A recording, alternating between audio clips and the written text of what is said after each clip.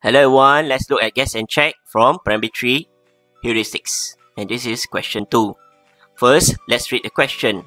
There are 12 ducks and cows. They have a total of 38 legs.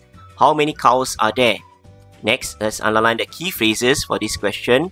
So the first key phrase is that the total number of animals is 12 and the total number of legs will be 38. So we need to find the number of cows.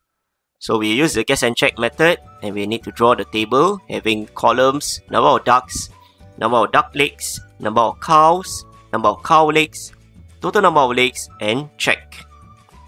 So because the total number of animals is 12, we have 6 ducks and 6 cows for our first guess. So 6 times 2 we get 12, each duck has 2 legs and 6 times 4 we get 24, each cow has 4 legs. So 12 plus 24, we get 36.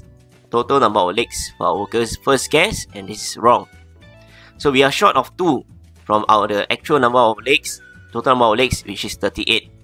So these two means that we need to have one more cow because each cow has two extra legs than each duck.